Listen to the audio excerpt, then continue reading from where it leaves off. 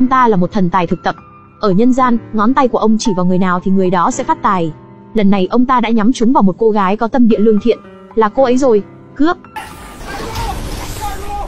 Tiêu rồi. Một kẻ đòi nợ đã cướp mất tài vận của cô gái tốt bụng, thần tài lập tức hết cả hồn vía, sao lại như thế này? Ông ta là một thần tài thực tập, nếu như đem tài vận cho kẻ xấu thì sẽ bị trừng phạt, nhưng bây giờ danh sách phát tài cuối cùng cũng đã đưa ra rồi. Người này có phát tài, hay không ảnh hưởng với việc ông ta có được làm thần tài chính thức hay không? Thần tài đành phải liều một phen thôi. Vậy thì kẻ đòi nợ này lại là một người như thế nào? Ba tiếng đồng hồ trước, anh ta cùng với vài người đi đòi nợ ở một siêu thị, mở miệng ra là yêu cầu ông chủ phải trả lại 200 ngàn. Một khách hàng nói rằng anh ta cần nhanh chóng về nhà để tìm vợ, nên đồng ý giúp ông chủ chi trả số tiền 200 ngàn đó. Ngờ đâu lại bị kẻ đòi nợ này từ chối ngay tại chỗ.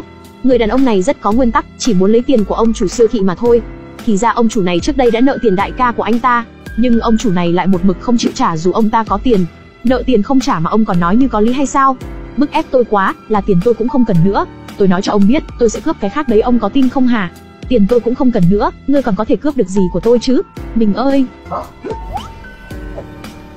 Người phụ nữ này nói kiếm tiền rất khó, cướp cái khác thì được, cướp tiền thì không được. Ông chủ thấy thế thì thôi được rồi, chuyển khoản đi. Tên tiểu đệ sau khi lấy được tiền thì lập tức kể công với đại ca. Siêu thị nhận chuyển khoản Tiêu rồi, quét mã quét ngược rồi, đã chuyển vào tài khoản của siêu thị 200 ngàn. Sau đó ông chủ siêu thị nhân lúc hỗn loạn đã gỡ bỏ trùm đầu của tên tội phạm. Anh ta sợ hãi lập tức co giò lên bỏ chạy. Anh ta chạy rất nhanh nên đã thành công thoát nạn, nhưng không ngờ vừa mới chạy thoát ra ngoài thì lại bị người khác bám theo. Tôi là thần tài. Thần tài? Không phải, nếu như đối với một vị thần mà nói, ông có dự cảm hay không? Tôi lấy chút sức lực ra cũng còn có thể giúp ông đánh thiên hạ. Người đàn ông này hoàn toàn không tin. Người ăn mặc còn nghèo nàn hơn mình đang đứng ngay trước mặt lại là thần tài. Ngờ đâu thần tài quyết định sử dụng pháp bảo của mình. Ông ta là một thần tài thực tập, vì muốn để cho người phàm